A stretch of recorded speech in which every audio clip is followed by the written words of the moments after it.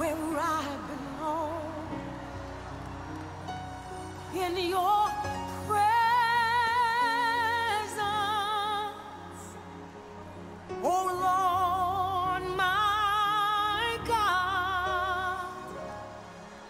The entrance of thy word, it giveth light and it giveth understanding unto the simple. And I welcome you to a favorite program in His presence. A program that talks about the word of God and how we can apply the word of God into our life so we can be a transformed, changed person from the old ways of life into the newness of life in Christ Jesus. Till we all come in the unity of faith and of the knowledge of the Son of God unto a perfect man, unto the measure of stature of fullness of Christ. This is the day that the Lord has made. We shall all rejoice and be glad in it. And it's of the mercies of the Lord that the Lord has kept you and myself to witness another brand new day. We need to give all the praises, all the honor, all the adoration back unto him because it deserves our praise. The Bible in Psalm 16, verse 11 says, Thou will show me the path of life. In thy presence is fullness of joy. And as is right now in thy pleasures forevermore. I'm your host for today. I'm Akinkunle Akinola. And the topic I have before you on this glorious day is covenant partners. And we are joined by Pastor Mrs. Folake Oladepo. That's the wife to the senior pastor of, of Scripture Life Christian Center in Lake, Nigeria. She's there to discuss with us on this day. Ma, another great privilege again for us to have you to come and discuss with us on Nice this to day. here again. Good morning. Yes, ma'am. Thank you so much, man. The last time we had you in the studio, it was a wonderful time in God's presence. And we know to of the truth. God will also speak through you to his people. Our topic today is covenant partners. But before we actually start, let's start with covenant. What is a covenant? When we talk about covenant, we're talking about agreement. Covenant is an agreement between two or more people. And, um, you know, our God is a faithful God. And I believe, God, that as we proceed in this morning open heaven, the Lord will bless us in Jesus' name. Mm, amen. In as much as we've laid a, a foundation that covenant talks about an, An agreement. agreement. Now let's look at the other aspect of partner. If we say somebody is a partner, what does When you it talk mean? about somebody is a partner, that means the person is a part of a thing. A a partner is someone that is a part of, a- uh, of, of a thing, a part of an agreement or whatever, a part of a thing. The person is not just an outsider, is he or she is part of that thing. So we can say that a partner is somebody that is a part of a thing. Mm, all right, man. Thank you so much, man. That's so powerful and so profound. And so, our viewers out there, let's go on to our first music video. We'll be right back. Please stay with us. In your presence,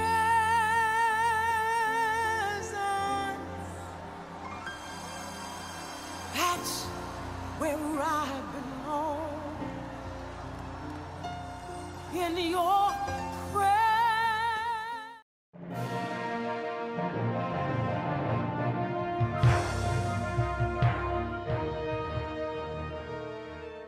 God is a promise keeper. He's a covenant keeper. He never breaks any, any covenant that he has made.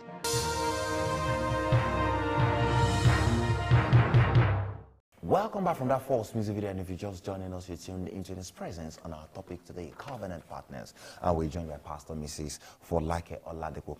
Ma, before we went to the previous break, the foundation is a covenant talks about an agreement. Mm. A partner talks about somebody that is part, part. of something. Now, let's look at the word now. If we say covenant partners, covenant partner. When we talk about a, co- a covenant partner, that means we're talking about two or more people that is part of an agreement. Two or more people that is part of an agreement. And in this morning, uh, Open Heaven, we want to look at how it is applicable to us, the agreement between us and God.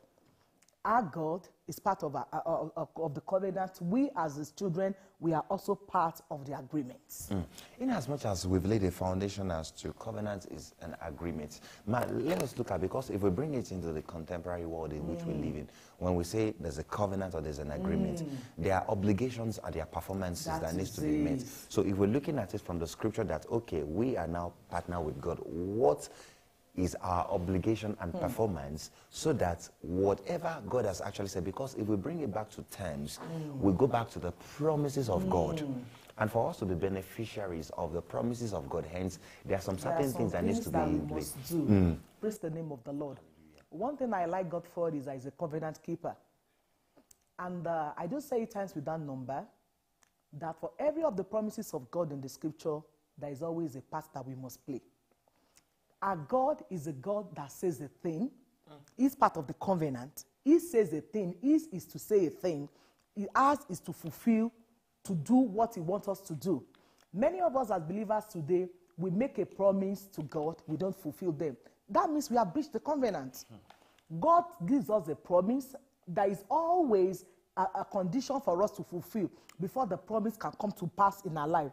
Our God is a God that keeps covenant. When He says anything, He ensures He brings it to pass. But the question is, we as God's children, are we fulfilling our own part of the obligation? Because our case study today is about the life of Anna.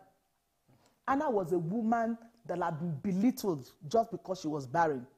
She was a woman in the scripture that really that was really trusting the Lord for children. And her mate, Penina, has said a lot, you know, molesting her. But it got to a time in her life that she really needed to talk to God. She went to Shiloh that year. She's been going to Shiloh a lot of times. And she told God, God, give me a son, and I will give the son back to you. That was an agreement between her and God. And I thank God for Mama Hannah. She made a covenant with God. You know, it was a vow, and she fulfilled it. But what is happening in the in, in Christianity of today? A lot of us, when we're asking the Lord for something, what do we do? We tell God, God, do this for me. If you do this for me, I will do that for you. But a lot of times, God will fulfill His own part of the obligation.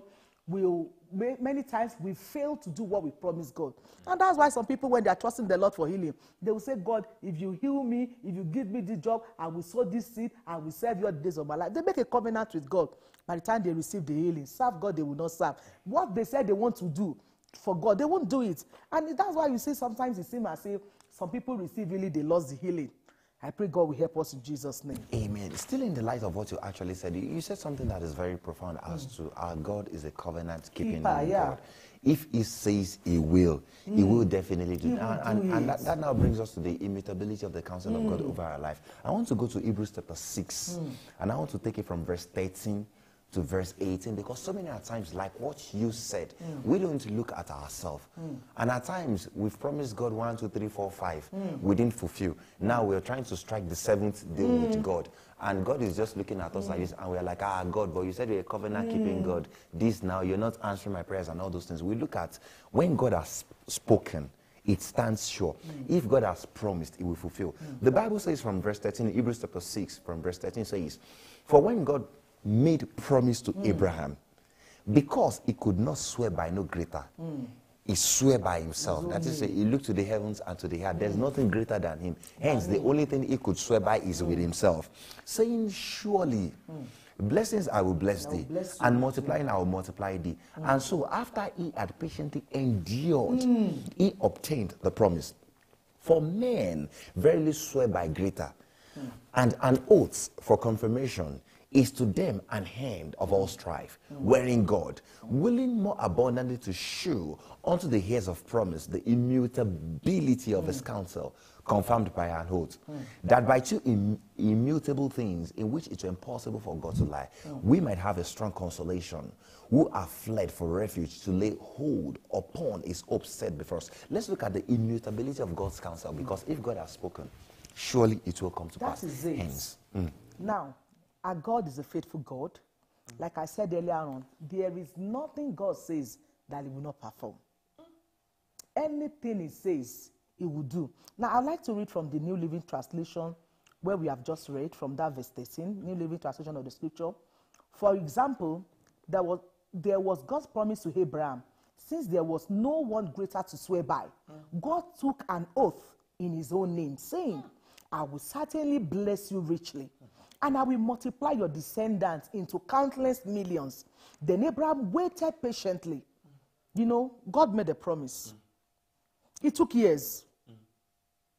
It was not immediately that God made a promise. But what did he do? He waited patiently. And that is the problem with many of us believers today. Immediately, God give us a promise. We want it to become immediately. The Bible says Abraham waited patiently and he received what God had promised. Verse number 16.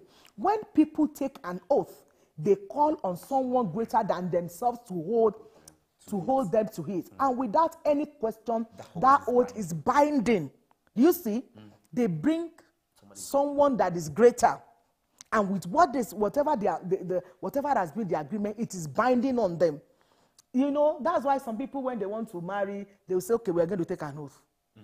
if you if you if you are the one that default this is what will happen. We see it happening in you know in uh, back here in nigeria. We see it happening everywhere. Now let's look at uh, that verse number 17 god also bound himself with an oath so that those who received the promise could be perfectly sure that he would never change his mind. Now verse number 18 so god has given us both his promise and his oath. Can you see? He gave us the promise and he put an oath there. Because I'm God, I swear by myself, knowing fully well that nothing, no one is greater than God. He said, He, he swore by His promise and His oath. These two things are unchangeable because it is impossible for God to lie. Our God is a promise keeper, He will not lie. Therefore, we who have we who have fled to Him for refuge can take new courage. We can hold on to His promise with confidence. Great that is confidence. everything he has said he will do he will do it. No matter the circumstances even if it seems it's not going to come to pass the bible says abraham waited patiently for it. You know along the line his faith shook. To me i believe that uh, if his faith did not shake when mama sarah told her told him that take my slave and sleep with her wherever child come that comes from her is mine. He, would, he wouldn't do that. But at the end of the day he came back to himself. God had promised me a son and the son is going to come to pass and the promise came to pass. So that is telling us that no matter what it is our god is a promise keeper.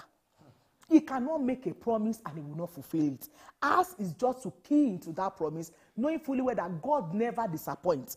Let us key into it. Let us see that ah, if God can swear by his name and no one is greater than him, no name is greater than him, there is no how he's going to bring it to pass.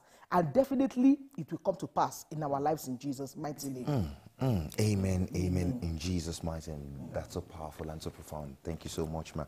I want to go into the open heavens of today. Our Father in the Lord, Pastor E. A. Adeboye wrote, For you to fully enjoy the benefits hmm. of your walk with God, hmm. you need to understand His, His character. character, yeah. Can we just look at the character of God? Hmm. Now, one of the one of the greatest character of God is our God is a promise keeper. If you don't have an understanding of a thing, abuse is inevitable. When you don't understand the character of God, you might not enjoy your walking with Him. You will just think that maybe we're just serving Him for nothing. Our God is awesome. Our God is, is no, he's so marvelous. For my years of working with Him, I have seen Him as a promise keeper. There is nothing that He says He will do that He will not do. You know, there are some songs we sing, a lot of times we don't really look into the lyrics of those words of the song. We just think they are just song. Eh, The songwriter says, He has never failed, He will never fail. He will do what He says He will do. So, for every one of us as children of God to really understand, to really benefit walking with God, to how to have a benefit, we must understand this our God. One of His greatest character is that whatever He says He will do, He will do it. He will never fail us. Even no matter, let the devil raise his head, let the enemy around, let them do everything they think they can do. God will still fulfill what He says He will do. Let's look at the life of Joseph. God showed Joseph that this is what I'm going to do with your life.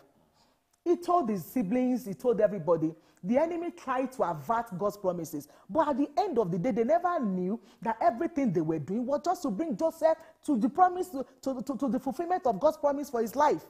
And that is how it's going to be for every one of us in Jesus' name. Mm, amen. So understanding the character of mm. God is what actually gives us hope that comes with Yes, great it confidence. gives us hope. Yeah, it gives us confidence that these are God is a promise keeper. No matter what I'm passing through, no matter how the road looks so rough, mm. I am I'm sure I have an assurance that my hand is going to be that thing that God has said concerning my life. Hallelujah. Amen. To continue the Open Heavens, our Father in the Lord further wrote, one character trait of God that is that He keeps his keeps his end of every covenant Yeah, He enters, into. Yeah, it will not fail.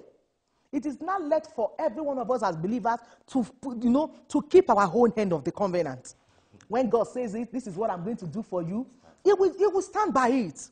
But it's not left for you and I, for every one of us that are believers to stand by our own part. Don't just say it, oh God, I will do this if you do this. Don't just say it with mouth. God will definitely do hi- hi- his own part. You know, I told us earlier on, I said covenant is an agreement between two or more people. But in this case, now it's between us and God. Two of us are involved. I was in a program sometimes last week, and the man of God that was ministering said that his ministry, he said there is always uh, an upline blessing and a downline responsibility. The upline blessing is everything God said He is going to do is there, but for us as the downline, God is the upline. There is a blessing there. We as the downline, we must fulfill our own part of the obligation. We should not just think, uh, let me just say by mouth, God will just do. No, we must keep our own part of the promise of the agreement. Amen, Hallelujah. amen, in Jesus' mighty name. So, continue the hope and as our Father in the Lord roots, based on my experience, I can boldly say that hmm. entering into a covenant hmm. partnership with God is a wise thing to do. It's a wise thing to Times do. without number, hmm. God has proved it to me Yes, that no one can beat Him in adherence Nobody. to the terms of, the, of a covenant relationship. Hmm. In today's Bible reading, we see a situation where God's need intersected with the need of man, man to, to produce, produce a covenant, covenant partnership. partnership. Hmm. God urgently needed a faithful faithful priest priest to replace Eli and his notorious children, hmm. while Anna needed a son to silence her adversary, Penina, who continually mocked her on the account of her barrenness. To get her heart desires, Anna entered into a covenant partnership with God. She promised that if God would give, her a miracle, a male hmm. child, she would give him back to God. The deal was struck. Hmm. Anna got a son, and, God, got, a is priest. Can you see that? You know, it got to a, it, it got to a time. I'm sure God was fed up with the type of lifestyle that the children of Eli was living, were living. They were supposed to be they were supposed to be Levites themselves because they are the offspring of a Levite, of a priest. And you know, they were just doing a lot of atrocities. God needed a priest, Anna needed a child. And when Anna went to Shiloh, Anna told God, God, give me a child. If you give me this child, I'm going to release the child back to you. And God looked at it as, ah, this is a very good option. oh. I need somebody that will replace Eli and his children. I got to give this woman a child. I'm sure God has seen the heart with which Anna was making the promise. And she did not default. She didn't default. She gave, as soon as she win the child, she took the child back to God. She took Samuel back to God. God, I made this promise that if you give me this child, I'm giving him back to you. This is the child you have given unto me. And I'm sure God was so happy. At least now I have a priest. God is a covenant keeper. I pray the Lord will give us uh, the grace for us to keep our own part of the promise of the agreement in Jesus' name. Amen in Jesus' mighty name. Thank you so much, man. So, of yours out there, let's continue to our Bible reading. We'll be right back. Please stay with us. in your presence.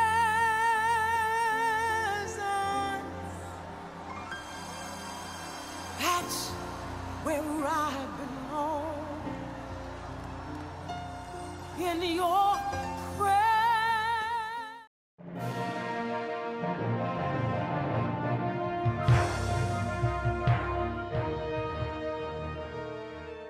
God is a promise keeper. He's a covenant keeper. He never breaks any, any covenant that he has made.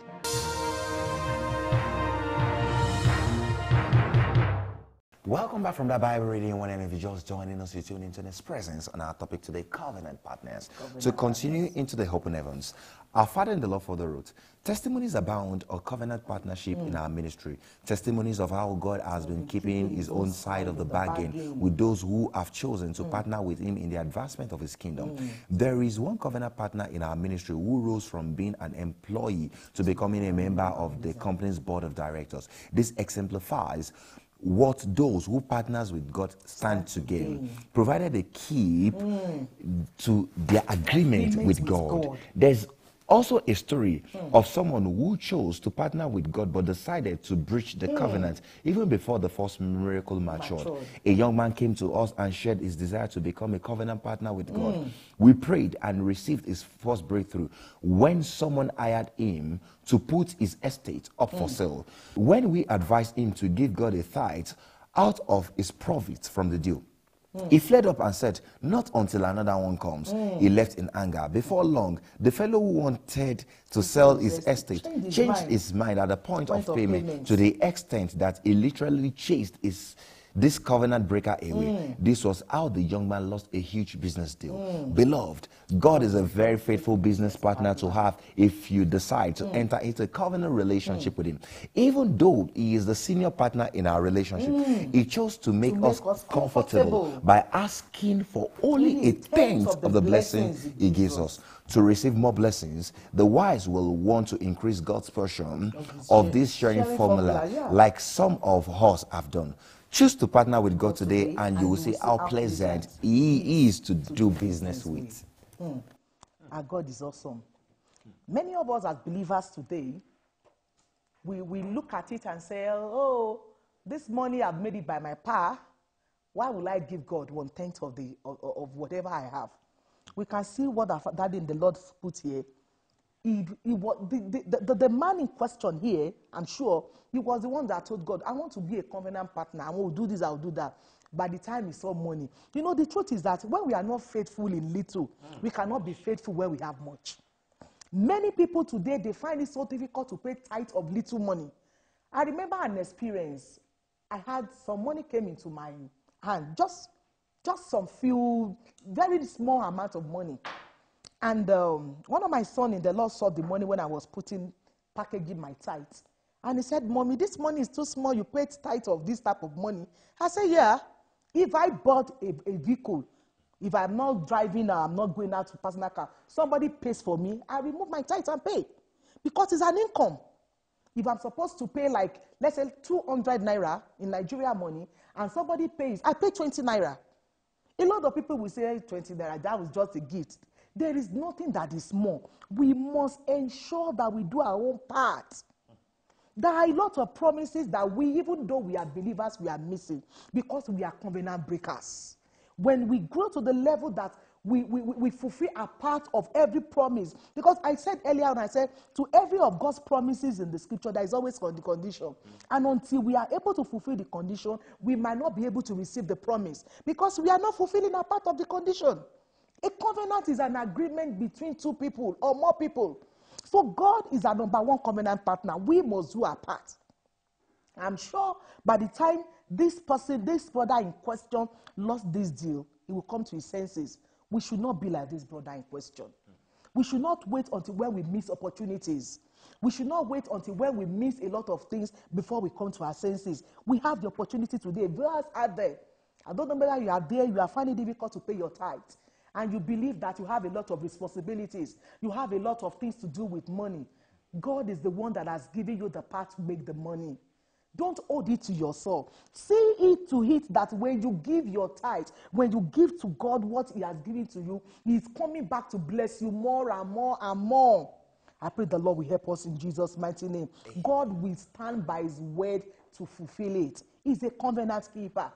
We must partner with Him for us to see the, the, promises that He has made in the scripture come to pass in our life. There are some that He has told us expressly. Maybe you had it verbally, maybe the Holy Spirit dwelled in your mind, but most times we have God's promises in the scripture. And if you want to enjoy your walking with God, you must fulfill your own part of the promise. You must fulfill your own part of the covenant. I pray the Lord will help us in Jesus' name. Amen. In Jesus' mighty name. Thank you so much, man. We celebrate God in your life. And so, of you also, let's continue to this short break, which will be used for our hymn. We'll be right back with the memory verse. We're still on our topic today. Covenant partners, please stay mm. with us. We'll be right back. in your presence.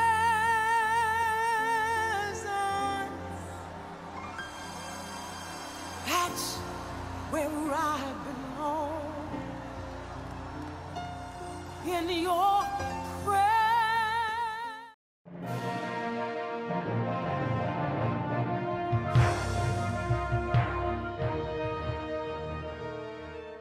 God is a promise keeper.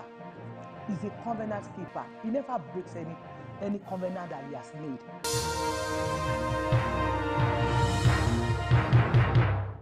Welcome back from that hymn, and if you're just joining us, you're tuning into His presence on our topic today, covenant partners.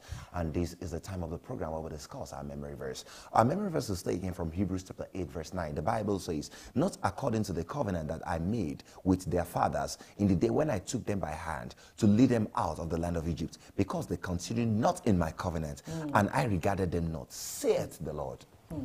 Praise the name of the Lord. For a better understanding, I would like us to take the read the preceding verse to this memory verse, and I would like to write, read in the New Living Translation for a better understanding. The scripture says here in verse 8, it says, Hebrews chapter number 8, verse number 8. But God himself find fault with the old one when he said, The day will come, says the Lord, when I will make a new covenant with the people of Israel and Judah. Verse number 9 is a memory verse for today. This covenant will not be like the one I made with their ancestors when I took them by the hand and led them out of the land of Egypt. They did not remain faithful to my covenant, so I turned my back on them, says the name of the says the Lord. God is saying here, He said, He's making a new covenant. But the covenant will not be like the one He made with their fathers. He said, because the one He made with them, they did not fulfill their own part of the condition. They, they turned their back. Can you imagine when they were at the Red Sea, a lot of things happened. They were like telling Moses, "Ah, I'm sure if it's uh, like today, they say, Pastor Moses, why did you bring us here? Do you want us to let and die here? God made a covenant with them. He had promised them the promised land. But what happened? By the time they crossed the Red Sea, they turned their back at God.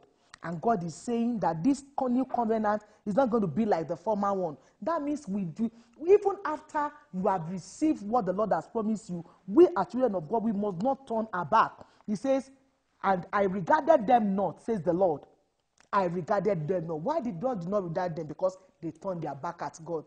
Look at what, what uh, Anna did in her case study, uh, the scripture where we read. She made a promise with God. She made, she, she made a covenant with God and she fulfilled her promise. She fulfilled the vow. God give me a son, I will give him back to you. The scripture told us that after God gave uh, Anna Samuel, God gave him five more children. You know, probably she would have just had the boy I would not have another one if she had not fulfilled her own part of the obligation. Probably she would have even had Samuel, and Samuel will die. But she did what she ought to do. She kept her own part of the agreement, and God gave her more. The Lord will help us in Jesus' mighty name. Amen in Jesus' name. Thank you so much, man. The action point for today says, key into the power of the covenant partnership today to receive the answer to mm. a long-awaited request request from God. from God. That's so powerful and so mm. profound. Let's continue on to our prophecy declaration with our Father in the Lord. In the name that's above every other name, that wonderful name of Jesus. Your season of rejoicing will begin.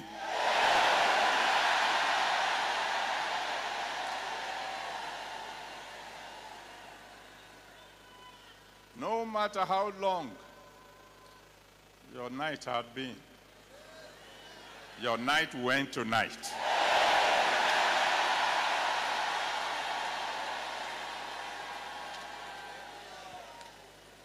Your end will be far more glorious than your beginning.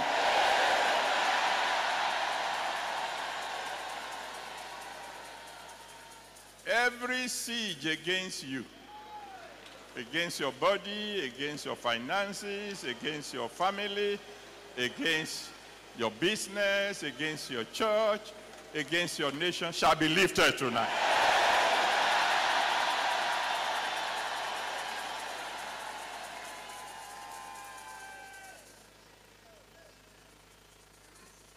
In the name of the Almighty God,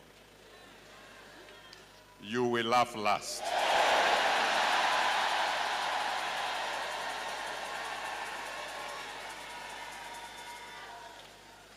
By the time the sun is rising physically tomorrow, your own sun will be rising also.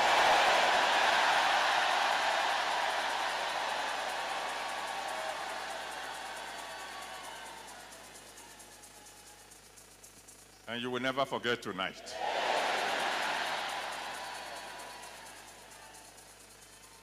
It will be the beginning of your joy, the beginning of your success, the beginning of your progress. You will laugh last.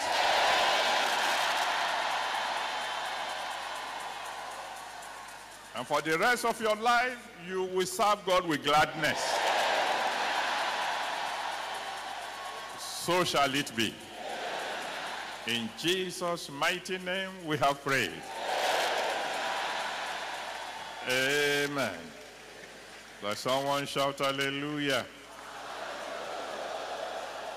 Welcome back from that prophecy declaration. I believe you've claimed every prophecy that has gone forth unto you. Now, before we let you go, your final thoughts to our viewers on covenant partners. Hmm. Viewers out there, I'd like to encourage every one of us this morning, knowing fully well that a God is a promise keeper. He's a covenant keeper. He never breaks any, any covenant that he has made. It is now left for you and I, it's left for every one of us that are called by the name of the Lord to ensure that we fulfill our own part of the covenant. Never you be a covenant breaker. In the, in the quest of asking God for something, anything you've told God that you will do, ensure you do it. Or maybe you are, you are hearing, you are, you are the sound of my voice this morning. There's something you've told God you will do. God has done his own part of the deal. You've not done yours. Don't feel guilty. Just go back to God and tell him you are sorry. And if it is within your disposal, that thing you have promised God, do it. The issue is when you are when you are a covenant keeper, God will do more for you. God made us understand in the scripture that uh, Anna promised God that He gives her a son, she's going to give the son back to God. Yes, God gave her a son, and not only one son, God gave her additional five children. So let us look at it that God is always there, is always ready to fulfill His own part of the covenant. Let us, as His children, to fulfill our own part of the covenant. And when we do this, we will never regret. It will make our relationship with God enjoyable. It will make our walk with the Lord enjoyable. We'll begin to see God in different dimensions because God knows that if I give this to this, if I give this to this, my son or my daughter, he, will, he won't fail me. She won't fail me. God will always be glad to do more. May God help us in Jesus' name. Amen in Jesus' mighty name. Thank you so much, man. We celebrate God in your life and we're so confident that God will continue to increase you from one level of glory to another in Jesus' name. Above all, thank you for making time to be with us on You're this welcome. It's a privilege being here this morning. Amen. And to our viewers out there, I believe we've learned so many things on our topic today. Covenant partners. We need to understand that once we enter into covenant, we need to keep to the end of the deal because our God is a God that keeps to the end of the deal. And uh, Pastor Mrs. actually mentioned something that there is an upline blessing. Mm. However, there is a downline, Downline responsibility, which we all need to mm. keep. Really want to appreciate you for the time you spent to watch this program, and I believe you'll be mm. blessed in a mighty way. Perhaps you have any comments you want to leave with us, you can get to share with us on Facebook. And I want to say, keep watching RTM. God bless you.